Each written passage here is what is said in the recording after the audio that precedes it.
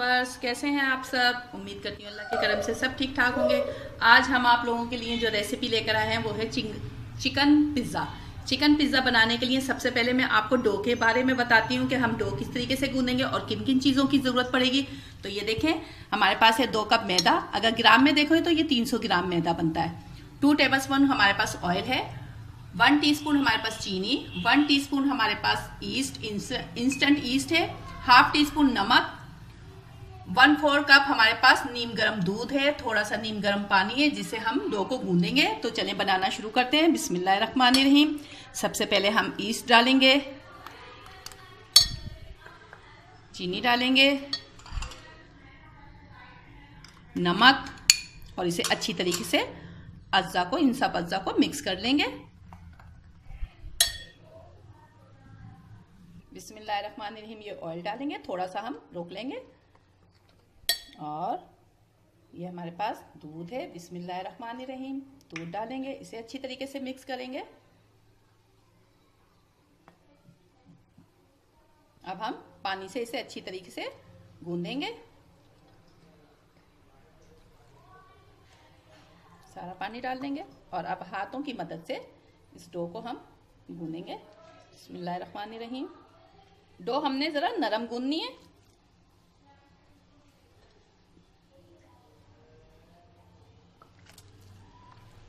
ये देखें, इस तरीके से, बिल्कुल नरम गूंदना है। बस इस तरीके से हमने ये ये देखें कितनी नरम डो गूंदी है, और जो मैंने तेल रोका था, वो हम इसमें डालेंगे, अच्छी तरीके से। और डो को हमने इतनी देर तक रखना है कि ये अच्छी तरीके से राइस हो जाए। इसे हम ढक के रखते हैं, तकरीबन हम दो घंटे लगेंगे। इसे हम ढक के रख देते हैं। ये देखें, ये हम अब इस चिकन बनाएँगे पिज़्ज़ा के लिए। पहले मैंने डो बनाना आपको बताइए। डो मैंने राइस होने के लिए रख दिए तो अब चिकन देख लेते हैं, हमें कितना चाहिए। जो हमने टॉपिंग करनी है चिकन की, ये हमारे पास है चिकन आधा किलो। आधी प्याली हमारे पास दही है, टू टेबल स्पून हमारे पास ऑयल है। वन फोर टी स्पून पिसी हुई काली मिर्चें, हाफ़ टी स्पून हमारे पास कुटी हुई लाल मिर्चें, हाफ़ टी स्पून गरम मसाला, हाफ़ टी स्पून नमक और हाफ़ टी स्पून लाल पिसी हुई मिर्च और ये चुटकी कलर है रेड कलर फ़ूड कलर, ये ऑप्शनल है। अगर आप डालना चाहें तो डाल दें। मैं डालूँगी ताकि इससे कलर अच्छा आएगा। ठीक है? हमने अब क्या करना है? पहले हमने इसमें दही डालनी है बहुत झटपट ये चिकन बन जाता है। और इसमें हमने ये सारे मसाले और कलर डाल देना है। साथ ही हमने ये ऑयल भी डाल देना है। और इसको अच्छी तरीके से हम मिक्स करेंगे। आप चाहें तो इसे मैरिनेट करके भी रख सकते हैं पहले से। ये देखें मैरिनेट हो गया। अब हमने इधर एक पैन रखा हुआ है। बिस्मिल्लाह रहमान रहीम इसे हम पकाएँगे। ये देखें, अच्छी तरीके से मिक्स करके इसे तकरीबन हम 10 मिनट के लिए ढक के पकाएँगे। ये देखें, पाँच मिनट हो गए इसे पकते हुए। अब इसके ऊपर हमने अदरक, लहसुन हाफ़ हाफ़ टी स्पून दोनों डालने ये मैं बाद में डालती हूँ, इसलिए आप लोगों को बताना भूल गई थी। वैसे आप इसमें मिक्स भी कर सकते हैं। इस तरह से करने से ज़रा इसके अदरक लहसुन की खुशबू अच्छी आती है। इस तरीके से डालें तो। ये देखें, माशाल्लाह, अल्हम्दुलिल्लाह। चिकन भी तैयार हो गई है हमारी पिज़्ज़ा की। अब हम इसे चूल्हा बंद कर देंगे। ये देखें, हमारी डो राइस हो गई है। ये देखें, माशाल्लाह, ये देखें, इतनी अच्छी राइस हुई है डो। अब हम इसे निकाल लेंगे और हम डो इसके ऊपर निकालेंगे। अच्छी तरीके से हम पंच डाउन करेंगे ताकि इसमें जो भी कोई एयर है वो निकल जाए।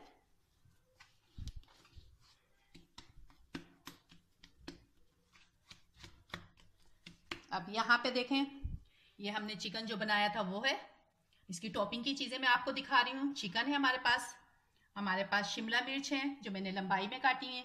टमाटर है, इसके बीज मैंने निकाल दिए हैं, इस तरीके से लंबे काट दिए हैं। ये प्याज है, ये चेडर चीज़ है हमारे पास, और ये पिज़्ज़ा सॉस है जो मेरी होममेड बनी हुई हैगी। इनशाला इसकी भी रेसिपी मैं आपके साथ शेयर ज़रूर करूँगी। ब्लैक ऑलिव्स हैं, मिक्स हर्ब ऑयल की ज़रूरत है, और ये दो मैंने सांचे लिए हुए हैंगे, जो मैं आपको एक विद आउट भी बनाऊँगी और अवन में भी बता बताना बताऊँगी। ये मेरे पास आठ इंच का हैगा और ये दस इंच का हैगा। इसमें हम बनाएँगे।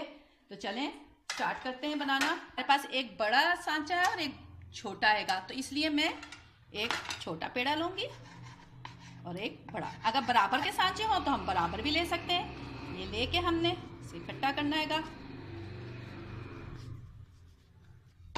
अच्छी तरीके से इसे फैलाएँगे।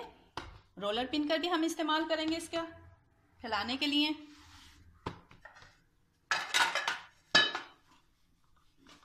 ताकि हमारे इक्वल चारों तरीके से चारों तरफ़ से एक जैसा बिले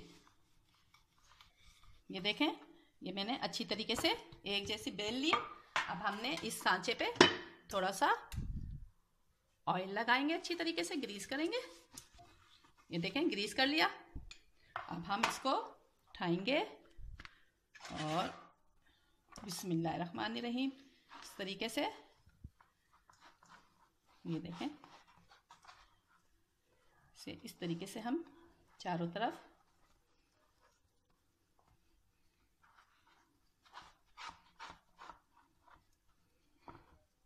ये देखें, हमने इसे सेट कर लिया। अब फोक की मदद से हमने इसमें निशान लगाने ताकि ये हमारी डो फूले नहीं। और इसे हम तकरीबन 10 मिनट के लिए दोबारा रेस्ट देंगे, फिर उसके बाद आपको बताते हैं। देखें, इसे भी हमने अच्छी तरीके से रोलर पिन से एक जैसा बेल लिया अब हम इसको इसे भी लगा देंगे और ऊपर ज़रा फैला देंगे इसका। किनारे अच्छी तरीके से सेट हो जाए।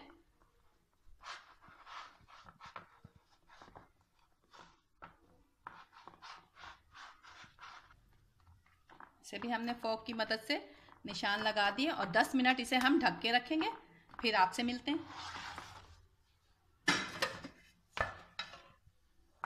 ये देखें 10 मिनट हो गए।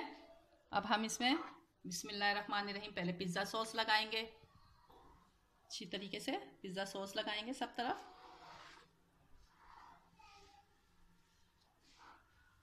ये देखें, अच्छी तरीके से सॉस लग गई।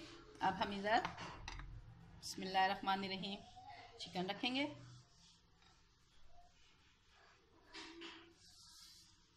चिकन डाल दिया, अब हम इसमें चीज़ ग्रेट करके डालते हैं। चीज़ डाल दी, अब हम एक एक स्लाइस हमने प्याज के रखने हैं, इस तरह करके। टॉपिंग आप अपनी मर्ज़ी से कर सकते हैं। अब हम इसके बाद ये टमाटर रखेंगे। एक एक स्लाइस टमाटर के हमने रखने हैं। इसके बाद फिर हम थोड़ी सी चीज़ ग्रेट करेंगे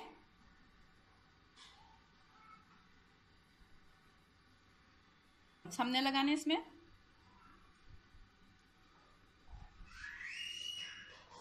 ये देखें, ये हमने इसमें ऑलिव लगा दिए। अब इसको हम रखेंगे विदाउट अवन दिखा रही हूँ मैं आपको और अवन में। ये मैंने पहले से प्री हीट करा हुआ हैगा। ये देखें, मैंने एक कढ़ाई रखी हुई है प्री हीट करने के लिए। जब भी आप कोई चीज़ बनाएँ, पहले 10 मिनट प्री हीट कर लें। बिस्मिल्लाहिर्रहमानिर्रहीम, ये इसमें मैंने एक रैक रखा हुआ है। इसमें हम रखेंगे, तकरीबन हम इसे 15 मिनट तक रखेंगे। अब ये हम अवन में हमने इसे रखना है, इसमें भी हम सॉस लगाएँगे। देखें, अच्छी तरीके से फैला के लगाना है हमने। वैसे तो पिज़्ज़ा सॉस बनी बनाई बाज़ार में मिल जाती है, मगर मैंने ये घर खुद तैयार करिएगी चिकन लगाएँगे। अब इसमें हम चीज़ डालेंगे। ये हम अवन में रखेंगे। फिर प्याज के स्लाइसिस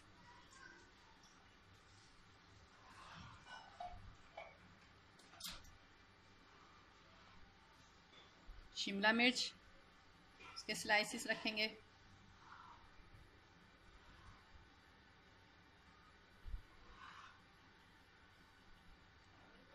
इसके बाद हमने टमाटर के स्लाइस देने हैं।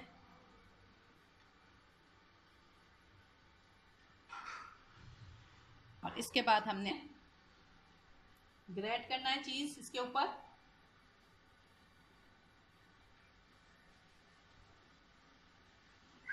हम इसके ऊपर ऑलिव्स लगाएँगे। टॉपिंग आप अपनी मर्ज़ी से कम, ज़्यादा, जैसे आप लोगों को अच्छा लगे, जो बच्चे आपके खाना पसंद करें देखें, ये भी हमने क्या बनाया है। इसमें मिक्स हर्ब डालूँगी। अगर आपको पसंद है तो आप डालें, नहीं पसंद तो ना डालें। मैंने एक बगैर हर्ब के बनाया है मिक्स हर्ब का, एक मैंने इसमें मिक्स हर्ब डाल दिया। अब हम इसमें ऑयल का ब्रश करेंगे, ताकि ये जो हमारे किनारे हैं, ये अच्छी की तरीके से क्रिस्पी होएँ। मक्खन लगाना चाहते हैं, मक्खन लगा दें। ऑयल लगाना चाहते हैं तो ऑयल का ब्रश लगा दें। अब मैं इसे अवन में रखूँगी तकरीबन 10 मिनट के लिए। अवन मेरा प्री हीट है पहले से। रहीम पे हम कोई वजनी चीज़ रख दें ताकि ना इसकी भाप ना निकले। स्टीम इसकी अंदर ही रहे। रहीम ये देखें, माशाल्लाह से हमारा पिज़्ज़ा तैयार है। अब इसे हम निकाल लेंगे बाहर। दस से बारह मिनट में तैयार हो जाएगा माशाल्लाह से कितना अच्छा तैयार हुआ है। अभी हमारा विदाउट जो अवन मैंने रखा है, वो भी तैयार हो रहा है यहाँ। वो अभी मैं एक दो मिनट के बाद रखू, निकालूँगी। इसे देखें। रहीम माशाल्लाह। ये देखें। ये भी हमारा पिज़्ज़ा तैयार है। अब हम इसे भी निकालते हैं। बचा कर हाथों को, बहुत गर्म होता है। ये देखें। बिस्मिल्लाह ये देखें, माशाल्लाह से दोनों पिज़्ज़े हमारे तैयार हैं।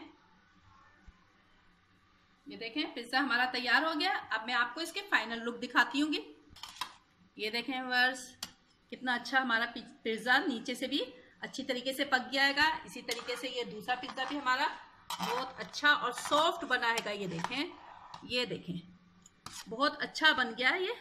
ये देखें, हमारे दोनों पिज़्ज़े तैयार हैं। अब मैं आपको इसको काट के भी दिखाती हूँ। बिस्मिल्लाह रहीम